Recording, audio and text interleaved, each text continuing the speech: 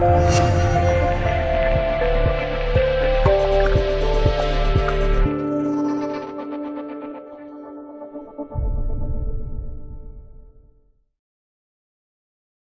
创耿直哥，环球时报。今天从印度媒体到普通民众，他们都在为印度空军昨天派出十二架战斗机越境进入巴基斯坦境内，并成功夜袭炸死了一大片恐怖分子，而举国欢腾着。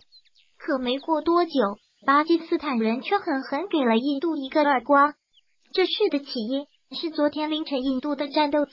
突然越境闯入巴基斯坦领空，并对巴基斯坦一处印度军方宣称。是恐怖分子营地的区域进行了猛烈的空袭之后顺利返回。印度方面还表示，这次空袭是为了报复这些恐怖分子在二月十四日时在印度控制的克什米尔地区发布的恐怖袭击。不过，巴基斯坦方面很快对印度的说法提出质疑，称印度轰炸的地方是块无人区，并没有炸到任何目标。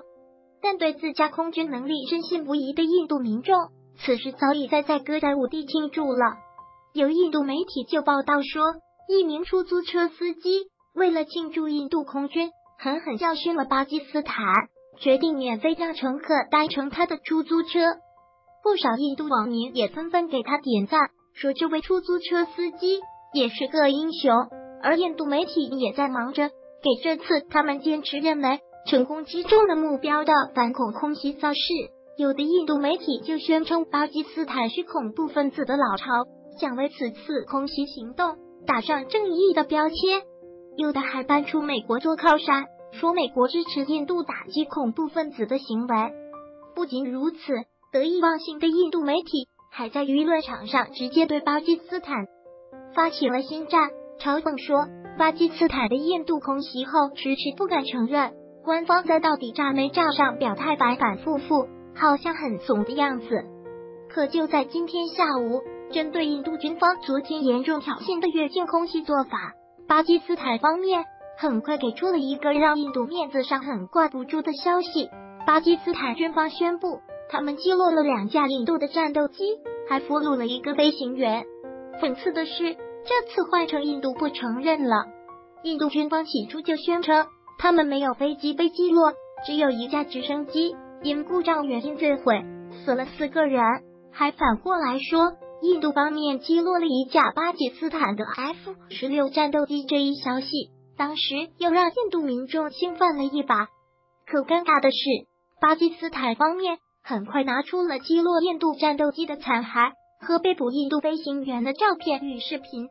甚至还有当地民众揍这个飞行员的视频。更尴尬的是，印度方面却迟迟拿不出证据证明他们击落了巴基斯坦的 F 十六，反倒是巴基斯坦方面表示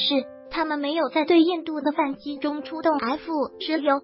最终，就在刚才，印度军方终于扭扭捏捏的承认，他们确实损失了一架米格二十一战斗机，飞行员目前失踪，是不是被巴基斯坦捉了还在核实中，但强调只损失了一架。而不是两架，但这一消息已经足够令巴基斯坦人反过来嘲笑印度了。目前在境外的社交网站、推特等平台上，巴基斯坦网民就正在组团挖苦印度人，而且这巴基斯坦人说起印度人来真是没边没边的。比如在多个印度和西方媒体的账号下，就有不少巴基斯坦网民这样讽刺说：“你们印度飞行员高大威武的形象。”似乎是存在于你们一集的宝莱坞电影里。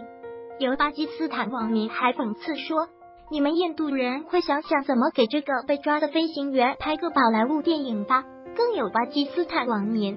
还与印度网民互撕起来。印度人说：“我们也击落了你们的飞机。”然后巴基斯坦人则说：“我们把击落你们飞机的证据都拿出来了，可你们空袭和击落我们飞机的证据呢？”又要找宝莱坞拍吗？总之，看巴基斯坦和印度人在网上这么互撕和斗图，真能把你笑到肚子疼。言归正传，虽然目前印度方面坚称巴基斯坦是在恶化事态，国际上没人支持巴基斯坦，可事实也并非如此。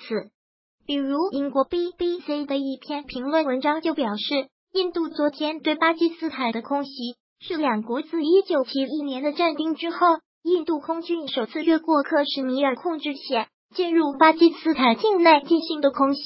所以，此事的恶劣程度极为严重，甚至远高于双方地面人员的越境挑衅。